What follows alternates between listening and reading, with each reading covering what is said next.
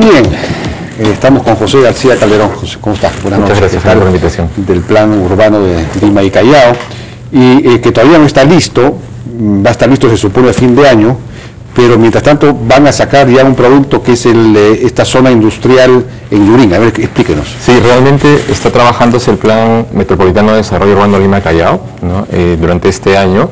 Es el tercer gran esfuerzo que se hace en la ciudad en 50 años para poder eh, formular y aprobar un, plan metropolitano que permita guiar cuáles son los pasos y acciones que tiene que seguir la ciudad en los siguientes años.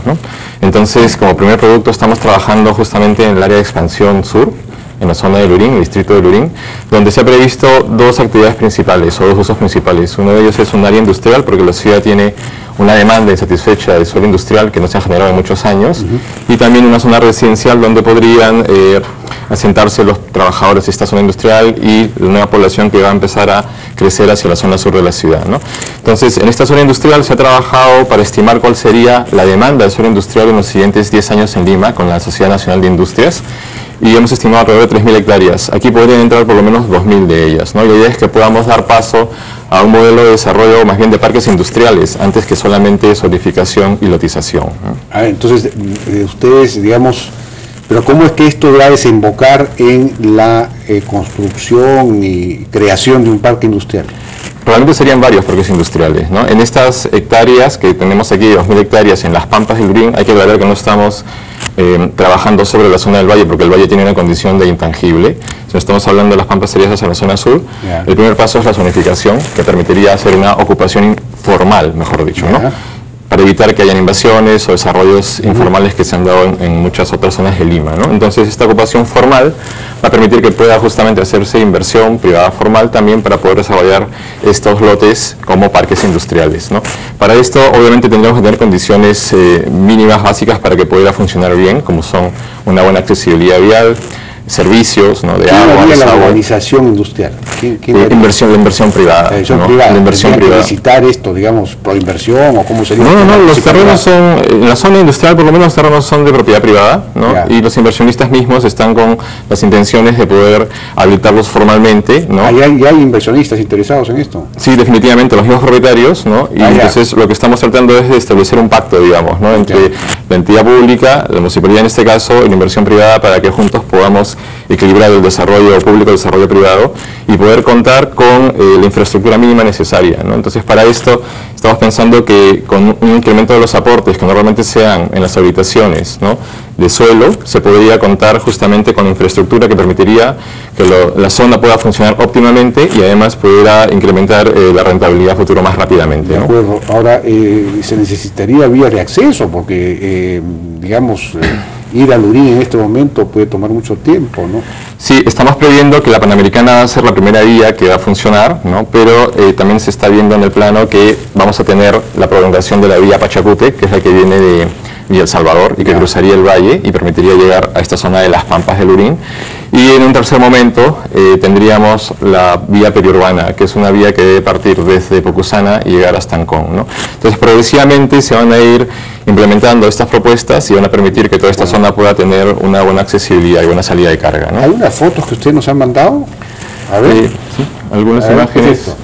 La zona residencial estaría más ubicada cerca al mar, ¿no? al litoral, y además es la zona más accesible. Ahí tendríamos alrededor de 500 hectáreas de suelo. ¿Cuántas personas podrían vivir ahí? Más de 300.000 personas 300 a futuro. Sí, a futuro. Una ciudad. Sí, definitivamente. ¿no? Con esto Lurín estaría incrementando eh, la población, pero en condiciones adecuadas. ¿no? Estamos haciendo un uso racional del suelo, pero lo que no podemos hacer es malgastar el suelo con habitaciones de baja densidad. ¿no? Lima es una ciudad muy poco densa y esto es bastante caro para poder proveerla de servicios y equipamientos. edificios entonces? Yo tendría vivienda multifamiliar con bastante área libre. ¿no? ¿Y esto está ya de alguna manera se ha empezado a coordinar con alguien? Sí, por supuesto. Eh, a ver, aquí la zonificación va justamente a establecer estos nuevos parámetros que van a permitir que pueda haber un uso más racional del suelo inmediatamente una vez que salga comenzaría entonces a desarrollarse. ¿no? ¿Eso, qué eso que está ahí?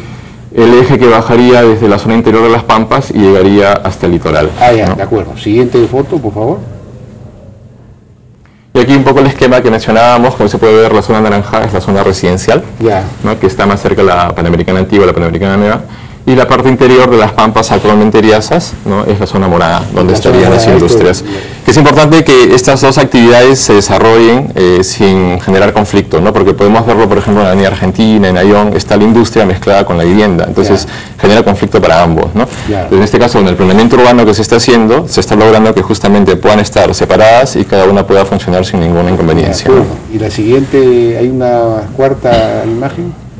Sí, se puede ver que eh, el valle sigue intacto, ¿no? Hacia la zona norte, donde se está trabajando. El valle está, eh, eh, ha sido declarado intangible, ¿no? Claro, entonces la estrategia es que primero se pueda habilitar estas zonas o zonificar estas áreas industriales para que la actividad informal que se está desarrollando actualmente en el valle ya no tenga excusa y realmente pueda trasladarse a la zona industrial, porque estamos observando que en el valle actualmente hay alguna actividad industrial no conforme, ¿no? Entonces deberíamos hacer el esfuerzo máximo para que el valle se mantenga justamente como una zona de valor ambiental importante ¿no? y la actividad industrial realmente se concentre en las zonas donde hay condiciones adecuadas para que puedan funcionar óptimamente. ¿no?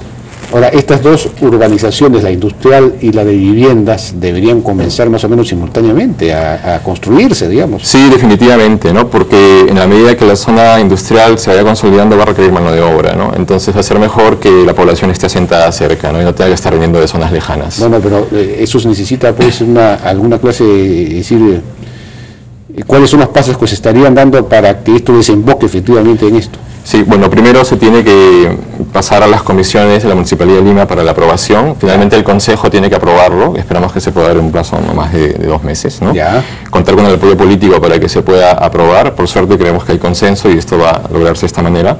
Y con el aporte del 5% en promedio adicional creemos que podemos cubrir las deficiencias de infraestructura que tendría esta zona y de esta manera poder contar con las vías, con los servicios de agua y desagüe que requeriría para que se pueda acelerar la inversión. Muy bien. Bueno, pues este lo felicito. Realmente es interesante que esto pueda salir adelante, ¿no? Pero eh, lo que no me queda claro es si es que esto sería, se convocaría alguna clase de concurso para desarrollar los proyectos. Eh, a ver, aquí hay eh, diversos tamaños de lotes y realmente los propietarios de, las, del suelo en esta zona son los que van a convertirse en los promotores de esas ah, habitaciones. ¿no? Sí, con ellos se entonces el asunto. Sí, definitivamente. Ya. Bien, José García Calderón, coordinador técnico del Plan Metropolitano de Desarrollo Urbano del Lima y Callao, Plan 2035. ¿Este plan va a estar listo cuándo? ¿Fin de año? Sí, la parte técnica esperamos terminar el segundo semestre y ahí pueda entrar a la etapa de aprobación el plan general, ¿no? Porque también hay otras zonas industriales previstas, una en, una en la zona de Ancón, creo, ¿no? Sí, realmente esa es una sola de las propuestas en la que estamos trabajando. Estamos trabajando realmente una carpeta de inversiones que va a llevar alrededor de 100 proyectos desarrollaremos probablemente algunos 14 de ellos, pero ahí queda el trabajo para todas las siguientes gestiones municipales. ¿Qué pasa con las pampas de, San Bartolo, por ejemplo? Es que es crucial lo que pasa aquí en Lurín y la manera como se pueda urbanizar a futuro, porque esto va a definir el modelo de lo que debería seguir en las zonas de Lurín. ¿no? Ah, Inevitablemente la ciudad se va a expandir, se va a expandir hacia San Bartolo definitivamente, pero tiene que hacerse como esperamos se pueda hacer en Lurín inicialmente, ¿no? y no de manera informal o por invasiones. De acuerdo. José García, además la idea es eh, prevenir las invasiones. Definitivamente, y que sea de manera formal, claro que sí. Bien, muchísimas gracias. Gracias por participación en la hora viene. Con esto nos despedimos hasta el día lunes. Eh, buenas noches.